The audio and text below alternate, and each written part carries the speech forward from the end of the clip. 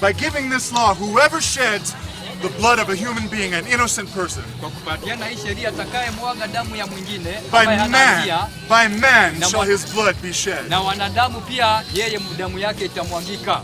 Now, today I want to tell you a story. Siku ya leo nataka kuwapa- kuwaambia hadithi. Can I have my Bible? Hebu nipate hiyo Biblia yangu. Thank you, sir. My friend Pastor Paul Hill Rafiki yake anaitwa Paul Hill, was a great preacher. alikuwa mhubiri mkuu sana. He had three beautiful children, Alikuwa na watoto warembo watatu. and he was a young man in his 30s, his late 30s. alikuwa na kijana katika miaka yake ya 30, A tall man like myself, but better looking than me. yeye mrefu lakini mrembo kuliko huyu. A beautiful blonde hair, a beautiful wife, Yeye alikuwa na wonderful children. Mke mzuri na watoto wazuri.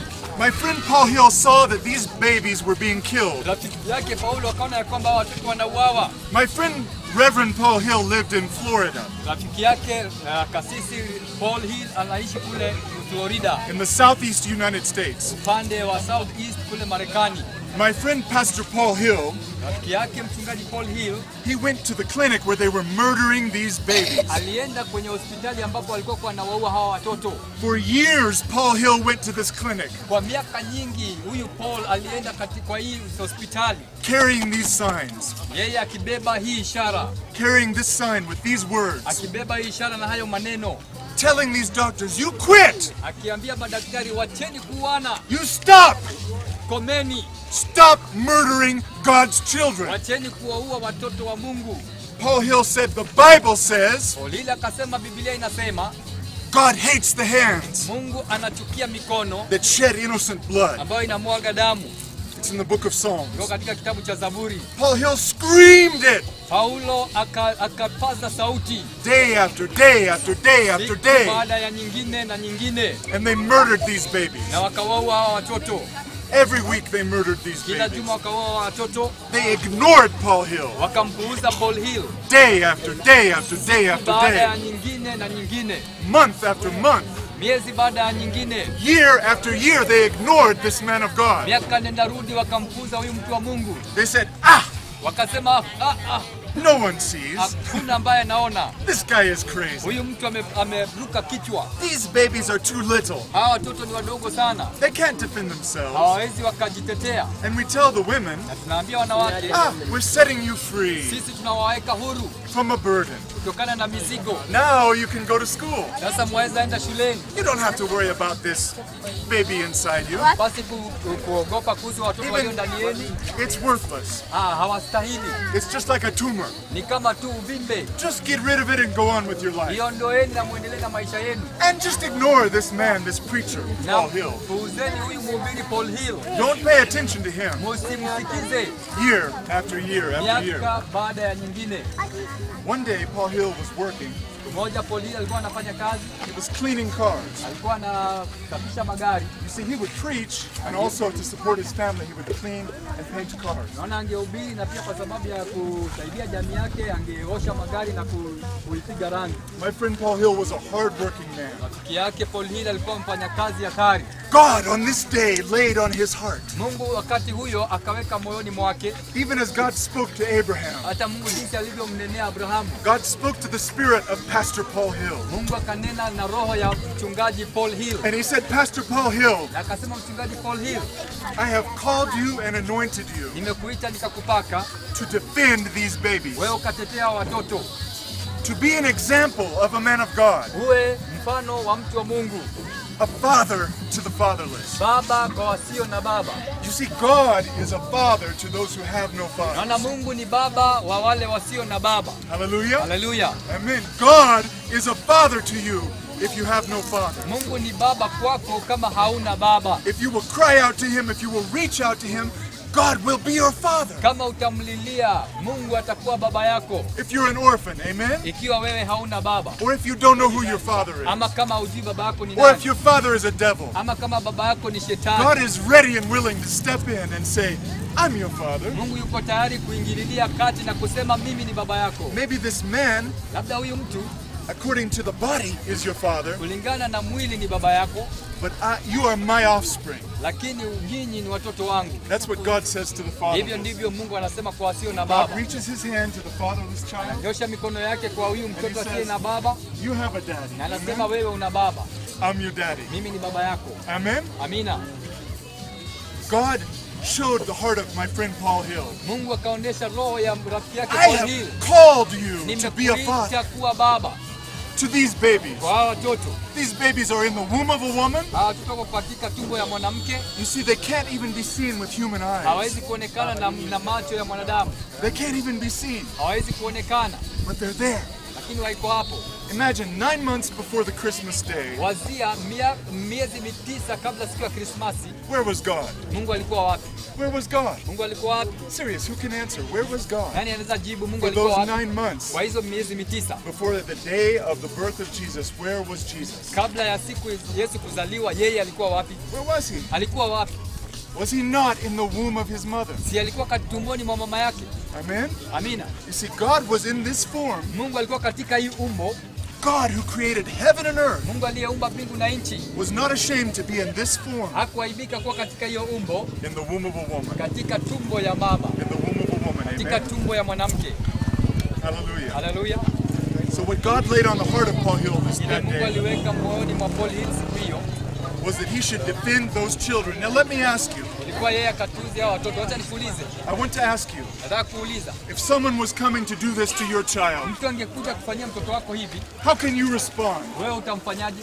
If someone comes right now, Mtu akija sasa hivi, this precious boy, huyu kijana mdogo, to tear his arm off, To cut him to pieces. na mkatekate vipande, how can we respond? Will we stand by? Tutasimama tu na Will we, will we do nothing? Tutafanya hatutafanya chochote? Will we do nothing? Je, tutakaa tu hivyo Will we defend this boy? ama tutam, tutamlinda huyu kijana? Yes? No? Ndio ama hapana? I speak for myself. Yes. Mimi najisemea Hey, nitamlinda. I'm going to defend this boy. Mimi nitalinda huyo kijana. Maybe God has said you turn the other cheek. Labda right? Mungu amesema geuza upande ule mwingine ukigongwa, But God didn't tell me to turn this baby's cheek. lakini Mungu hakusema nigeuze sura ya mtoto. Amen? Amina. God didn't tell me to allow the innocent to be killed. Mungu hakuniambia niruhusu wasio na hatia You see, I serve the Jesus who told his disciples, You take swords. Natumikia Yesu ambaye aliambia wanafunzi wake, chukieni, chukueni upanga, You take swords. Not to attack people, sio kushambulia watu, but to defend the innocent. bali Amen? kuwalinda wasio na hatia, To defend the innocent. kuwalinda wasio na hatia. So on that day, Paul Hill went and bought a gun. Siku ile Paul Hill akaenda akanunua bunduki. Now, I'm not suggesting anyone do any such thing. Semi ukanunue bunduki. In America, it's, it's legal. It's okay. We buy guns. inakubalikana, In America, a gun is like a panga. huko bunduki ni kama But God put on Paul Hill's heart lakini kile Mungu aliweka katika moyo wa Paul Hill was that no more babies would die that day in that clinic. hakuna mtoto mwingine atakufa katika ile hospitali tena. Are you hearing me? Are you understanding me? Paul Hill took that gun. He went and kissed his babies. Paulo Hill akaenda akachukua bunduki aka- akabusi watoto wake. Pastor Paul Hill said goodbye to his wife. Mchungaji Paul akasema bye bye mke wangu. He didn't tell her what he was going to do. Hakumwambia atafanya nini, He sent her to visit her mother. akamwambia aende atembelee mama yake, And he took this gun, shotgun, naye akachukua hii bunduki, and after years of warning them not to kill God's children, na baada ya miaka nyingi ya kuwaonya wasiue watoto wa Mungu, Paul Hill said, I am drawing the line right here. Paul Hill ninaweka mstari hapa sasa hivi. And when the doctor came to tear apart those 12 children that morning, Wakati yule daktari alipokuja asubuhi akawaue wale watoto kumi na mbili, you see, that morning there were 12 children scheduled to die. hiyo asubuhi watoto kumi na mbili walikuwa wamepanga kuuawa. Paul Hill met Hill the doctor, akakutana na yule daktari and instead of arguing with him with words, na baada badala ya kubishana na yeye kwa maneno, Paul Hill defended the children of God. Paul Hill akawatetea watoto wa Mungu And it looked like this. na ikafanyika hivi, akaweka bunduki akapiga, akaweka akapiga, akaweka bunduki akapiga. That man then Huyo was like this baby. huyo mwanaume sikio alikuwa kama huyu mtoto That man who would have killed this baby yule ambaye angeua watoto couldn't kill this baby. angeweza kuua watoto. Guess why? Fikiria kwa nini? Because he had no head, Kwa sababu hakuwa na kichwa, because he had no face, hakuwa na uso, because Paul Hill stopped him. kwa sababu huyu Paul Hill alimkomesha. You see, God has not called his children Mungu hajawaita watoto wake to stand by while innocent people are slaughtered. wakasimame na kutazama watoto wake wakiuawa.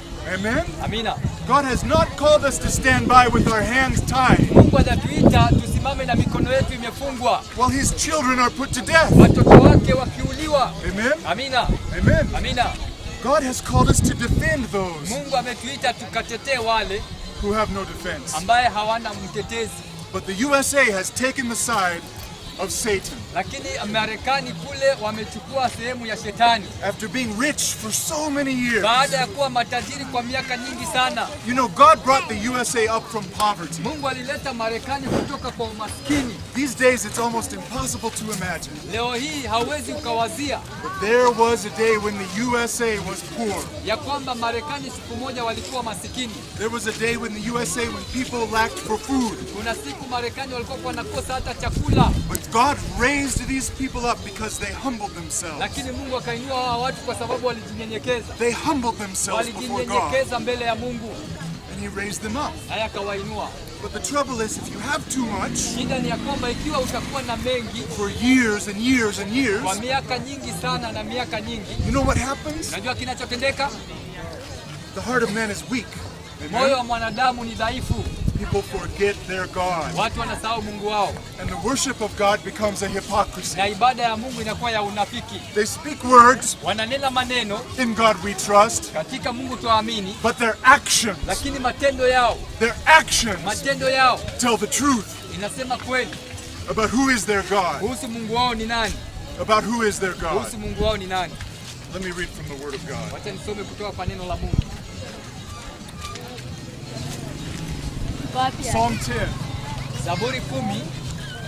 Why do you stand far away, O Lord? Kwa nini unasimama mbali ewe Mungu? Why do you hide yourself in times of trouble? Kwa nini wajificha wakati wa shida?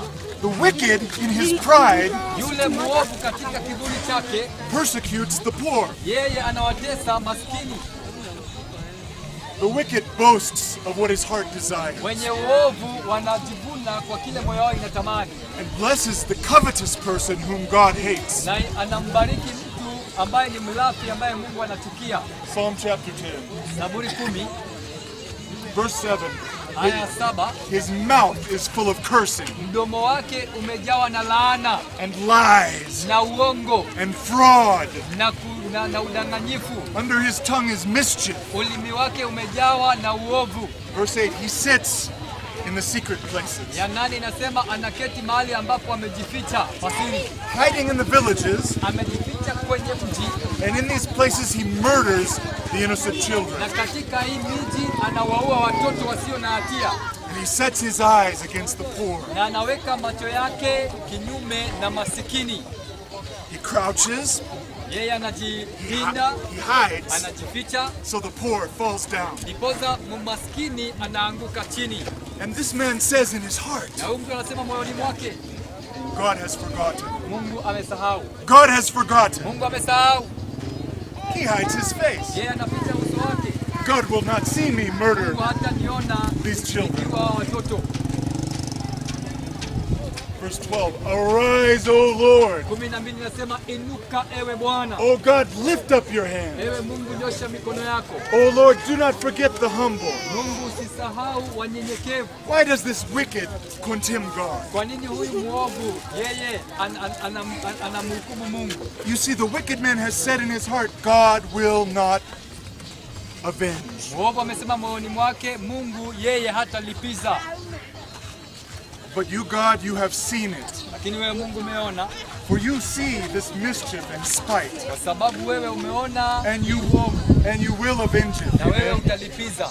The poor one and the fatherless commits himself Yule masikini na asiye na baba anajiweka miguuni mwake. Wewe Mungu, You, O God, are the helper of the fatherless, wewe Mungu ndio msaidizi ya wasio na wazazi, and God in his strength will break the arm na Mungu na nguvu zake atavunja mikono of the wicked man. ya yule mwovu. Amina. God will break the arm of the wicked. Mungu atavunja mkono ya yule muovu who attack his children. ambaye anashambulia watoto wake. It's true, isn't it? Ni kweli, si ndivyo? It's true.